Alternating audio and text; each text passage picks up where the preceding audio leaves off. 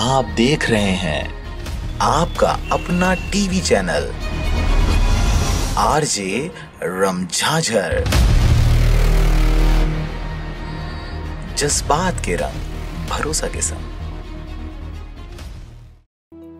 इस न्यूज़ के प्रायोजक हैं देव जनरल स्टोर एवं पुस्तक भंडार, नया बस स्टैंड, मुगेली। ज़िले में शत प्रतिशत मतदान हो, इसके लिए जिला निर्वाचन विभाग तो सक्रिय है ही। इसके साथ ही ज़िले के विभिन्न संगठन भी सक्रिय नज़र आ रहे हैं।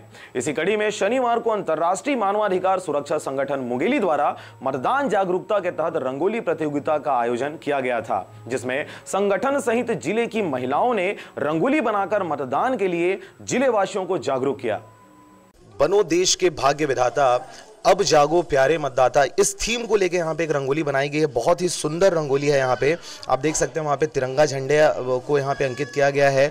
Vote for a beautiful India के नाम से वहाँ पे उस लोगों को बनाया गया है। वहाँ पे बहुत अच्छा स्लोगन भी लिखा गया है, बनो देश के भाग्य विधाता। अब जागो प्यारे मतदाता 2018 की बात इनके द्वारा किया जा रहा है। मतदाता जागरूकता इनके द्वारा फैलाई जा रही है। 20 नवंबर को मुंगेली जिला में द्वितीय चरण का मतदान होना है विधानसभा चुनाव को लेके। इस थीम को यहाँ पे रखा गया है। और जैसा कि इनका जो संगठन है, आपका अंतर्राष्ट्रीय मानवाधिकार सुरक्षा संगठन, महिला प्रकोष्ठ के द्वारा इस लोगों को, या इस रंगोली को बनाया गया है। यहाँ पे न्याय, शांति और सेवा की बात भी इस लोगों के माध्यम से किया जा रहा है। आइए और देखते हैं आगे। अगर आप यहाँ पे देखेंगे तो यहाँ पे भी अभ्रक का प्रयोग किया गया है। बहुत बढ़िया यहाँ पे ये दिख रहा है। मतदाता जागरूकता अभियान मुगेली 2018 करके यहाँ पे भी वोट देने के लिए आपसे अपील की गई है। यहाँ पे ये जो संगठन है, जिन्होंने इस रंगोली प्रतियोगिता का आयोजन किया है, उसका यहाँ पे नाम स्पष्ट अक्षरों पे लिखा गया है, अंतर्राष्ट्रीय मानवाधिकार सुरक्षा संगठन मुंगेली, और महिला प्रकोष्ठ के द्वारा इस कार्यक्रम को किया गया है। अभी देखना होगा, जितनी भी रंगोलियाँ आप देख रहे हैं, इन रंगोली में सबसे बढ़िया थीम किसका है, सबसे बढ़िया कलर कॉम्बिनेशन और सबसे बढ़िया मैसेज किसके द्वारा कन्वे किया गया है, उसको इस संगठन के अध्यक्ष के थ्रू अभी उनको पुरस्कृत भी किया जाएगा। यहाँ पे एक बहुत बड़ा रंगोली बनाया गया है। यहाँ पे भी आपका 2018 और यहाँ पे कुछ और लिखने वाले थे, शायद वो छूट गया है। वोट मतदाता मतदान करके यहाँ पे बात करी गई है। लोकतंत्र का है आधार। वोट ना कोई है बेकार। मतलब एक भी वोट बेकार ना करें आप, वोट ना दे के ये कहा जा रहा है बेसिकली आप अपना वोट दें, चाहे किसी को दें या किसी को ना दें मतलब नोटा बटन दबाने के लिए भी यहाँ पे मैसेज आपको दिया गया है। इस वक्त आप देख रहे हैं यहाँ पे भी एक रंगोली बनाई गई है इसमें भी अभरक बहुत बढ़िया प्रयोग किया गया है और यहाँ पे भी वोट देने की अपील की जा रही है। हम इनके बनाने वालों से बात करते हैं। मैडम अपना नाम बताएँ। मंजली यादव। तो मंजली जी बताएँ कि आपने जो रंगोली बनाया है इसमें आप आ, क्या मैसेज देना चाह रही हैं? इसके बारे में थोड़ा बताएँ। मैं इसमें मैसेज देना चाहती हूँ कि सभी को वोट देना चाहिए किसी का वोट खाली नहीं जाना चाहिए। सबका अधिकार है वोट देने का। बिल्कुल सबका अधिकार है वोट देने का। आपने ये रंगोली अकेले बनाया है या आप मिलजुल के बनाए सामूहिक में तीन लोग मिल के बनाए। तो हम से बात करते हैं। मैडम अपना नाम बताएँ। नम्रता ताम्रका तो नम्रता जी बताएँ आपने जो रंगोली बनाया है इसमें आपने एक तो वोट देने की अपील की है। इसके अलावा और क्या आप कन्वे करना चाह रहे हैं? अभी 20 नवंबर को मतदान अभी होना है मुंगेली ज़िले में। आप क्या कहना चाहेंगी हमारे ज़िले की महिलाओं से जो घर में बैठती हैं और मतदान के दिन वो घर से नहीं निकल पाती हैं? आप क्या मैसेज देना चाहेंगे उनको? नहीं सर मैं सबको बोलना चाहती हूँ कि अपना अधिकार है। हम अपना अधिकार किसी को ये नहीं करें जाके दें दें। घर में बैठ के नहीं रहें अपना अधिकार अपना स्वयं करें। अपना अधिकार आप बिल्कुल उसको यूज़ करें घर में बैठ के उसको फिजूल ना करें। मैडम आप कुछ बोलना चाहेंगी? क्या मैसेज करना चाहेंगी महिलाओं को जो घर में रहती हैं? बस किसी के दबाव में नहीं आना चाहिए और अपना वोट देना ही चाहिए। यहाँ पे आप देख सकते हैं एक रंगोली बनाई गई है बहुत बढ़िया यहाँ पे मोर का एक चित्र बनाया गया है। यहाँ पे दो कलर कॉम्बिनेशन विशेष रूप से नज़र आ रहा है एक ब्लैक और वाइट का है। उसके बाद छोटे छोटे यहाँ पे चित्र बनाए गए हैं उसमें डिज़ाइन बनाया गया है। यहाँ पे भी आपका अंतर्राष्ट्रीय मानवाधिकार सुरक्षा संगठन का एक मोनो बनाया गया है बहुत प्यारा सा वो दिख रहा है। हम बात करते हैं मैडम अपना नाम बताएँ। पूर्णिमा सोनी। तो पूर्णिमा जी आप बताएँ इसके थ्रू आप क्या मैसेज देना चाह रही हैं? मैं सभी नागरिकों को ये थ्रू दे रही हूँ कि किसी के दबाव में आके वोट ना दें, अपनी इच्छा अनुसार सबको वोट दें और अपना अधिकार है सबको वोट देने का। जी, अपना अधिकार का पालन करें। तो आप यहाँ की महिलाओं को जो घर में बैठी हुई हैं, आप क्या कहना चाहती हैं? आपका संगठन क्या कहता है? आपका संगठन बेसिकली किसके लिए काम कर रहा है? महिलाओं के ताकत के लिए काम कर रहा है। तो आप क्या कहना चाहेंगे अपने संगठन के थ्रू और आप पर्टिकुलर इंडिविजुअल किसी महिला को क्या कहना चाहेंगी? मैं अपने सभी संगठन के महिलाओं को ये कह रही हूँ कि हम जागरूक हैं और दूसरे के सहयोग भी करते हैं। ये सहयोग के ही है जो मतलब जितनी भी महिलाएँ घर में हैं वो किसी के दबाव में मत आइए अपनी इच्छा से वोट दीजिए और हम आपके साथ हैं। यहाँ पे इन्होंने अपने इस रंगोली से एक बहुत सुंदर सा मैसेज भी दिया हुआ है। अगर आप देखें जो संगठन है यहाँ पे जो संगठन है ये महिला प्रकोष्ठ के द्वारा इसको बनाया गया है। चाहे नर हो या नारी मतदान है सबकी ज़िम्मेदारी। ये ज़िम्मेदारी की बात कर रहे हैं ये सिर्फ़ ना सिर्फ़ आपका अधिकार है बल्कि एक ज़िम्मेदारी भी है जिसका निर्वहन आपके द्वारा किया जाना चाहिए। सर आपका स्वागत है अपना नाम बताएँ। अनूप पांडे। पीएचई विभाग से हूँ।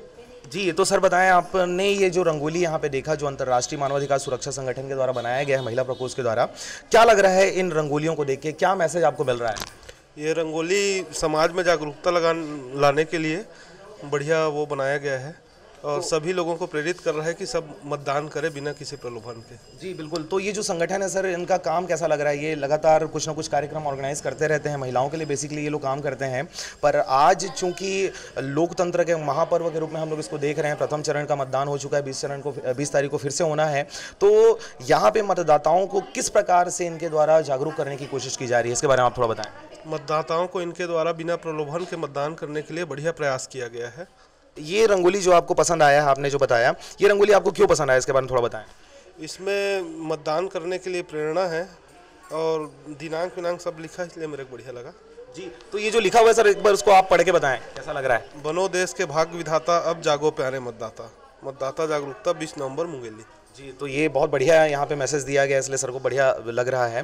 तो आप ये बताएँ सर, अभी जो हमारे जिला प्रशासन के द्वारा जो नाना प्रकार के कार्यक्रम अभी ऑर्गेनाइज किए जा रहे हैं, क्या लगता है कि इस प्रकार के जितने भी काम हैं क्रियाकलाप है जो प्रशासन के द्वारा और ऐसे संगठनों के द्वारा जो किया जा रहा है, वो कितना कारगर होगा इस बार? मुगेली की वो जनता जो घर में बैठी रहती है और मतदान के दिन मतदान नहीं करते हैं, कितना कारगर होगा इस बार? हंड्रेड परसेंट कारगर होगा, सभी लोग इस बार घर से निकल के मतदान करने आएँगे। पूरा प्रशासन भिड़ा हुआ है। बिल्कुल। तो क्या इस प्रकार के जो एडवर्टाइज वगैरह हैं, जो इनके द्वारा लगातार शत प्रतिशत मतदान करने का जो इस बार रखा गया है आपका तो वो गाँव तक पहुँच पा रहा है। वो जो जंगली क्षेत्र हम अगर लोरमी क्षेत्र की अगर बात करें, जंगली इलाका की बात करें, क्या वहाँ पर लोग जागरूक हुए हैं? हाँ जागरूक हुए हैं। सभी जगह के लोग गाँव हो, चाहे शहर हो, चाहे एकदम जंगल का एरिया हो, सभी जगह के लोग जागरूक हुए हैं, सभी लोग इस बार मतदान करने के लिए तत्पर हैं। तो जैसा कि आपने देखा, यहाँ पे बहुत सारे अगर हम इस राम मंदिर की बात करें, इस राम मंदिर में बहुत सारे रंगोली बनाए गए हैं अंतर्राष्ट्रीय मानवाधिकार सुरक्षा संगठन के द्वारा। ये, यहाँ पे बहुत सारी महिलाएँ उस संगठन के हमारे पास उपस्थित हैं। हम इन महिलाओं से एक करके बात करते हैं कि क्या लगता है इस बार का चुनाव कितना सार्थक होगा यहाँ पे एक नए विधायक को चुनने के लिए। मैडम, आप बताएँ, ये जो रंगोली प्रतियोगिता अभी ऑर्गेनाइज किया गया है इसके बारे में आप थोड़ा सा बताएँ कि क्या कैसे क्यों क्या थीम लेके आप लोग ये रंगोली बनाए हैं? जी। मतदाताओं को जागरूक करने के लिए ये रंगोली प्रतियोगिता की गई है। बस हमारा उद्देश्य ये है कि एक अच्छा सा मैसेज जाना चाहिए मुंगेली के शहरवासियों को कि उनको घर से निकलना है और कम से कम अपना एक जो अमूल्य वोट है वो सही इंसान को देना है। जी बिल्कुल। तो एक सही इंसान को चुनना है। तो क्या लगता है इस बार जो शासन ने, प्रशासन ने बहुत सारे जो अभी योजनाएँ चलाई थी, वो बहुत सारे एडवर्टाइज किए थे, कितना कारगर होगा इस बार लोगों को शत प्रतिशत मतदान करने के लिए? कितना कारगर होगा? जी, बिल्कुल कारगर होना चाहिए हमारे हिसाब से तो बट ये हम लोग अपना प्रयास कर रहे हैं कि कारगर हो और बहुत अच्छा हो, ताकि सब अपने अधिकारों के बारे में जाने और वोट देने ज़रूर जाए। ठीक है तो जो हमने वीवीपैट के बारे में बात किया था, हम उस वीवीपैट जो मशीन इस बार नया अटैच किया जा रहा है, इस बार के विधानसभा चुनाव से, इसके बारे में हम जानकारी लेते हैं। उस रंगोली को बनाई है बेटा अपना नाम बताया सिंह। तो सोनाली आप बताएँ कि वो जो रंगोली आपने बनाया है वो रंगोली में जो मशीन आपने लगाया है वीवीपैट उसके बारे में आप बताएँ क्या है वो विशेष सर वो छत्तीसगढ़ विधानसभा चुनाव में फ़र्स्ट बार यूज़ किया जाता है। सबसे पहले केरल में किया गया था ये यूज़। और ये जो है ना इसमें जो भी मतलब मतदाता मतदान कर रहा है वो वो स्क्रीन के थ्रू किस पे मतदान किया है वो उसको जान सकते हैं उससे। बिल्कुल ठीक है बहुत बढ़िया बात है। तो इस मशीन के बारे में और जो हमारी कानूनी सलाहकार हैं संगठन की हम उनसे भी बात करते हैं। मैडम, बताएँ, वो मशीन के बारे में और क्या विशेष है?